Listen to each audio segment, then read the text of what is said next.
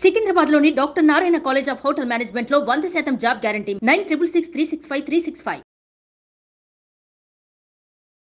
నమస్కారం వంశీ గారు. నమస్కారం సార్.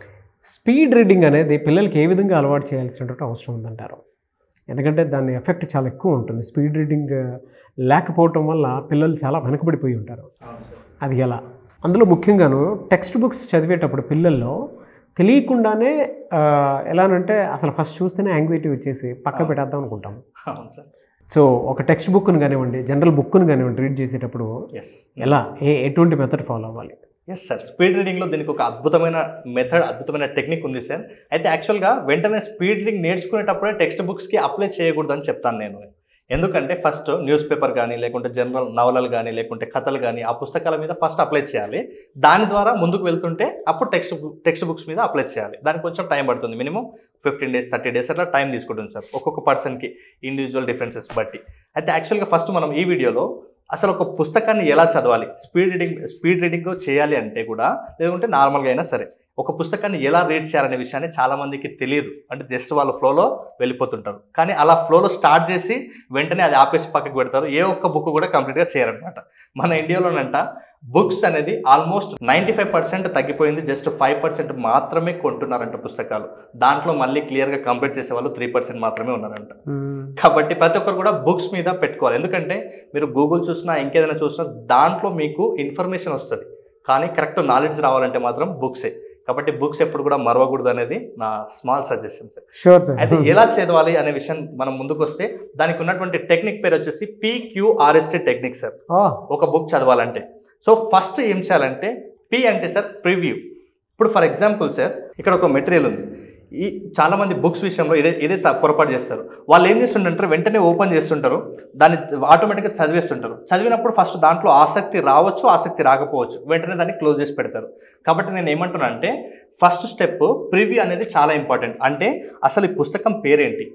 అంటే జస్ట్ స్పీడ్ రీడింగ్ మాస్టరీ. అంటే ఈ పుస్తకం పేరు ఈ పుస్తకం బ్యాక్గ్రౌండ్ ఏంటి? ఈ పుస్తకాన్ని ఎవరు రాశారు? ఈ పుస్తకం యొక్క ఈ పుస్తకాన్ని రాసిన రచయిత లేకుంటే ట్రైనర్ యొక్క డీటెయిల్స్ ఏంటి? ఆ కంప్లీట్ డీటెయిల్స్ అంటే ప్రివ్యూలో ఇవన్నీ చూడాలన్నమాట.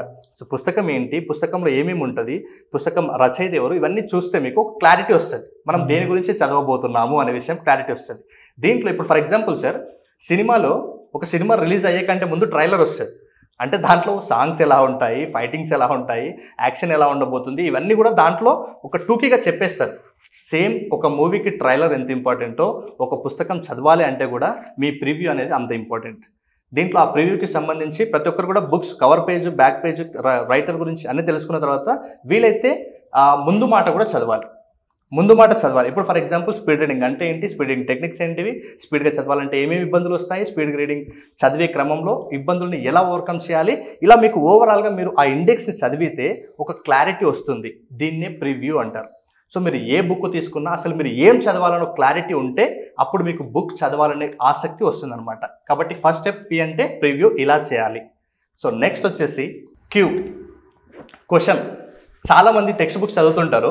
ఆ చదివే క్రమంలో వీళ్ళు మొత్తం చదివినా కూడా ఎండ్లో క్వశ్చన్ వేరే ఉంటుంది. వీళ్ళకు ఇది ఎక్కడుంది ఈ బుక్లో నేను చదివిన దాంట్లో ఈ ఆన్సర్ ఎక్కడుంది? అన్న ఆలోచన వస్తుంది చాలామంది స్టూడెంట్స్కి కాబట్టి నేనేమంటానంటే ఫస్ట్ ఒక ప్రివ్యూ తీసుకుంటారు కదా ఈవెన్ ఒక బుక్ అయితే అట్లాంటి ప్రివ్యూ తీసుకోండి. లేదు ఒకటే లెసన్ తీసుకుంటే ఆ లెసన్కి సంబంధించినటువంటి డాటాని అంటే సైడ్ హెడ్డింగ్స్ ఏమేమి ఉన్నాయి ఏమైనా పిక్చర్స్ ఉన్నాయా ఏమైనా టేబుల్స్ ఉన్నాయా వాటి మీద ఒక చిన్న ప్రివ్యూ వేయండి టెక్స్ట్ బుక్ అయితే. ఒకవేళ నార్మల్ బుక్ అయితే ఇలా నేను చెప్పినట్టు చేయండి ఒకవేళ టెక్స్ట్ బుక్ ప్రివ్యూ ఎట్లా చేయాలి దాంట్లో చార్ట్స్ ఉన్నాయా లేకుంటే డయాగ్రామ్స్ ఉన్నాయా లేకుంటే ఇంకేమైనా సైడ్ హెడ్డింగ్స్ ఒక్కసారి దాన్ని ప్రివ్యూ చేయాలి లెసన్ లెసన్ పరంగా. తర్వాత చేసిన తర్వాత మీరు క్వశ్చనింగ్ వేసుకోవాలి. అంటే ఆటోమేటిక్గా టెక్స్ట్ బుక్లో ఎండ్లో క్వశ్చన్స్ ఉంటాయి. ఆ క్వశ్చన్స్ ఫస్ట్ ఒకసారి చదవండి.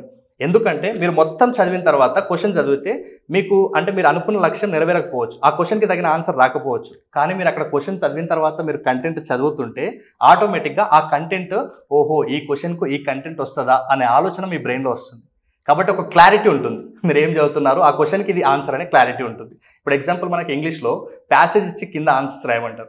పైన మొత్తం చదివిన తర్వాత క్వశ్చన్ చదివే కంటే ముందు నేనైతే ఇలాగే చేసేవాడిని సార్. ముందే క్వశ్చన్ చదివి తర్వాత ఆన్సర్ చదివేవాడిని. ఎందుకంటే ఆటోమేటిక్గా నాకు ఆన్సర్ అక్కడ దొరికేస్తుంది. ఇది మొత్తం చదవడం అసలు ఏం క్వశ్చన్ ఉందో తెలియకుండా నేను మొత్తం చదివితే టైం వేస్ట్ కదా. సో అలాంటి ప్రాసెస్లో ప్రతి ఒక్కరు కూడా ఫస్ట్ ప్రివ్యూ చేయండి. నెక్స్ట్ ఆ డాటాకి ఆ బుక్ సంబంధించిన క్వశ్చన్స్ చూడండి. నార్మల్ బుక్ అయితే హెడ్డింగ్స్ చూడండి ఫస్ట్ సో నెక్స్ట్ వచ్చేసి పీక్యూ అయిపోయింది సార్. నెక్స్ట్ రీడ్ ఇది వెరీ వెరీ ఇంపార్టెంట్ ఇప్పుడు చదవాలి. ఎందుకంటే ఇప్పుడు మీకు ప్రివ్యూ అర్థమైంది క్వశ్చన్స్ అర్థమైంది. ఇప్పుడు రీడ్ చేసేటప్పుడు ఏదైనా మీకు అర్థం కాని పార్ట్ ఉంటే దాన్ని అర్థం కాని పార్ట్ని అంటే టెక్స్ట్ బుక్లో ఉంటే స్టూడెంట్స్ అయితే. ఒకవేళ లేదనుకుంటే ఒకవేళ నార్మల్ బుక్స్ అయితే గూగుల్ చేసి చూసుకోండి. ఒకవేళ టెక్స్ట్ బుక్స్ అయితే మీకు ఏదైనా అర్థం కాని పాయింట్ ఉంటే ఫ్రెండ్స్ లేదా టీచర్స్ లేదంటే పేరెంట్స్ని అడిగి దాన్ని క్లారిటీ తెచ్చుకోండి. చాలా మంది ఎందుకు చదవడం ఆపేస్తారు అంటే వాళ్ళకు చదవడంలో ఏమైనా డౌట్స్ వచ్చినప్పుడు క్లారిటీ లేనప్పుడు వాళ్ళకి ఇంకా దీన్ని ఈ- ఇక్కడ నుంచి ముందరికి వెళ్ళడానికి వాళ్ళకి ఏమంటారు సార్ కరెక్ట్ ఒక సీక్వెన్స్ అనేది అర్థం కాదు. ఒక. డౌట్ ఉంటుంది. ఆ డౌట్ మీద వాళ్ళు చదవడం ఆపేస్తారు అనమాట కాబట్టి ప్రివ్యూ తర్వాత క్వశ్చనింగ్ తర్వాత రీడ్ సార్ ఈ మూడు స్టెప్స్ ఇంపార్టెంట్ నెక్స్ట్ వచ్చే స్టెప్ వచ్చేసి సమ్మరైజ్ అంటే మనం చదవాలి. ఎలా చదవాలనే అనే దానికి కూడా ఒక చిన్న టెక్నిక్ చెప్తా చూడండి. మన బ్రెయిన్కి టార్గెట్ ఇవ్వాలి. ఎంత? మినిమం ఒక ట్వంటీ మినిట్స్. ఎక్కడ వెళ్ళకుండా ఇక్కడ నుంచి ఇక్కడ కంప్లీట్ చేయాలి. లేకుంటే నార్మల్ బుక్ అయితే ఒక ఫైవ్ పేజెస్ చదవాలి. లేకుంటే ఒక టెన్ పేజెస్ చదవాలి. ఇలా ఒక టార్గెట్ పెడితే మన బ్రెయిన్ అటు ఇటు మైండ్ వ్యాండరింగ్ అనేది జరగదనమాట కాబట్టి మీరు చదవండి. చదివిన తర్వాత నెక్స్ట్ ఈ సమ్మరైజ్ సార్. ఎస్ అంటే సమ్మరైజ్. సమ్మరైజ్ ఎలా చేయాలంటే ఈ దగ్గర ఉన్నటువంటి బుక్ను ఫస్ట్ పక్కకు పెట్టండి. పక్కకు పెట్టి మీరు ఏం చదివారు మీకు ఏం గుర్తుంది? మీ జనరల్ లాంగ్వేజ్లోకి దాన్ని సమ్మరైజ్ చేసుకొని దాన్ని అర్థం చేసుకునే ప్రయత్నం చేయాలి సార్ ఎస్ అనే స్టెప్లో summarize so next last very very important step వచ్చేసి టెస్ట్ అంటే ఫస్ట్గా ప్రివ్యూ చూసాము తర్వాత క్వశ్చన్ చేసాము తర్వాత క్వశ్చన్ ద్వారా మనం ఏం నేర్చుకోవాలనుకున్నామో దాన్ని చదివాము చదివిన దాన్ని నేర్చుకున్నాము నేర్చుకున్న దాన్ని పక్కకు పెట్టి సమ్మరైజ్ కూడా చేసేసుకున్నాం. ఇప్పుడు సమ్మరైజ్ చేసిన తర్వాత కొంచెం టైం గ్యాప్ ఇచ్చి దాన్ని టెస్ట్ చేయాలి. అంటే ఈవెన్ మీరు ఒకరికి చెప్పడం ద్వారా అయినా టెస్ట్ చేసుకోవచ్చు లేదనుకుంటే పెన్ను పేపర్ పెట్టి రాయడం ద్వారా అయినా టెస్ట్ చేయొచ్చు సార్. సో ఒక బుక్ పట్ల ఒక బుక్ను ఎలా చదవాలి ఎలా అర్థం చేసుకోవాలి అంటే ఇలా పీక్యూఆర్ఎస్టీ టెక్నిక్స్ని అప్లై చేసి ఒక బుక్ను కంప్లీట్ చేయడం చాలా ఈజీ ఒక అర్థవంతంగా ఆ బుక్ అనేది పూర్తి చేయొచ్చు సార్. ఫెంటాస్టిక్ సార్ మీరు చెప్పిన పీక్యూఆర్ఎస్టీ టెక్నిక్ అనేది పిల్లలకి చాలా అవసరం. ఎస్ సార్ ఇప్పుడున్న జనరేషన్ పిల్లలకైతే. ఈవెన్ పెద్దవాళ్ళకైనా సరే ఏది ముందు చదివి దాని తర్వాత దేన్ని అవగా అవగాహన చేసుకుని ఇచ్చేయాలనేది అవసరం. కొన్ని కొన్నిసార్లు ఏ బుక్లు ఎక్కడి నుంచి ఏది వచ్చి ఇచ్చినా కూడా ఈ ముందు మాట దేన్ని బేస్ చేసుకుని ఉందనేటువంటి దానికి అందులో మనం రాయడానికి అవకాశం ఉండేలా ఉంటుంది. అవును సార్ ఎగ్జామ్లో వచ్చిన అవగాహన కోసమైనా సరే. అవును సార్ థ్యాంక్ యూ అండి thank you so much Vamshi గారు. Thank you sir thank you so much చాలామంది మళ్ళీ మీ క్లాసెస్ ఎప్పుడు ఉంటాయని చెప్పేసి అడుగుతూ ఉన్నారు. ఎప్పుడు ఉండే అవకాశం ఉంటుందంటారు? యా నెక్స్ట్ బ్యాచ్ వచ్చేసి మే సిక్స్టీన్త్ రోజు స్టార్ట్ అవబోతుంది సార్ సెకండ్ బ్యాచ్ అయితే దీంట్లో మార్నింగ్ బ్యాచ్ ఉంటుంది ఈవినింగ్ బ్యాచ్ ఉంటుంది. ఎవరైనా అటెండ్ కావచ్చు. ఒకవేళ థర్డ్ ఫోర్త్ ఫిఫ్త్ పిల్లలు ఉంటే వాళ్ళతో పాటు పేరెంట్స్ కూడా అటెండ్ అవ్వాలి. ఎందుకంటే వాళ్ళు కొన్ని కాన్సెప్ట్స్ మాత్రమే అర్థం చేసుకుంటారు. మిగతా కాన్సెప్ట్స్ పేరెంట్స్ దగ్గర ఉండి విని నేర్చుకుని మళ్ళీ తర్వాత పిల్లలకు నేర్పించాలి. ఎవరైతే సిక్స్ నుంచి టెన్త్ ఇంటర్ లేదంటే డిగ్రీ ఇంకా కాంపిటేటివ్ ఎగ్జామ్కి ప్రిపేర్ అయ్యే ఎవరైతే ఉన్నారో వాళ్ళు ఒంటరిగా కూడా అటెండ్ అవ్వచ్చు. చాలా బాగా నేర్చుకుంటారు. చాలా బాగా ఎంజాయ్ కూడా చేస్తారు. మనం ఇక్కడ ఫీడ్బ్యాక్ వీడియోస్ కూడా వేస్తాము. వాళ్ళ ఒరిజినల్ ఒపీనియన్ ఏందుందో. కాబట్టి ప్రతి ఒక్కరికి కూడా ఆ ఫిఫ్టీన్ డేస్ క్లాస్ని ఎలా డిజైన్ చేయబడిందంటే ఒక ఆర్డినరీ స్టూడెంట్ ఒక సక్సెస్ఫుల్ స్టూడెంట్ అవ్వాలంటే ఎలాంటి స్కిల్స్ వాళ్ళు నేర్చుకోవాలనేది దాన్ని బేస్ చేసుకొని ఆ ఫిఫ్టీన్ డేస్ వర్క్షాప్ డిజైన్ చేయబడింది. లర్నింగ్ డిజబిలిటీస్ ఉంటాయి. కొంతమందికి లిజనింగ్ స్పీకింగ్ రీడింగ్ రైటింగ్ దీన్ని ఎలా ఓవర్కమ్ చేయాలి? ఇంకా ముఖ్యంగా చదివింది చాలామంది గుర్తుండదు. కాబట్టి మెమొరీ టెక్నిక్స్ చాలా నేను అద్భుతమైన టెక్నిక్స్ నేర్పిస్తాను. ఇక్కడ చెప్పేది జస్ట్ ట్రైలర్ మాత్రమే రియల్ సినిమా వర్క్షాప్లో ఉంటుంది గుర్తుపెట్టుకోండి. సో మెమొరీ టెక్నిక్స్ నేర్పిస్తాం. ఇంకా సిలబస్ని ఈజీగా కంప్లీట్ చేయాలంటే స్పీడ్ రీడింగ్ టెక్నిక్స్ కూడా నేను అక్కడ నేర్పిస్తాను. దాంతోపాటు నేర్చుకున్నారు గుర్తుంది. ఇప్పుడు రాయడం కూడా ఇంపార్టెంటే కాబట్టి హ్యాండింగ్ స్కిల్స్ కూడా నేర్పిస్తాను. ఇంకా చిన్న వయసులోనే పిల్లలకి మనీ పట్ల అవగాహన ఉండాలని మనీ మేనేజ్మెంట్ స్కిల్స్ కూడా మనం ఆ వర్క్షాప్లో చెప్తాం సార్ ఇంకా ఫైనల్గా వచ్చేసి చాలా మందికి ఒక కోర్స్ తర్వాత ఇంకో ఎలాంటి కోర్సెస్ ఉంటాయి ఎలాంటి రూట్లో వెళ్ళాలనే విషయం కూడా తెలియదు.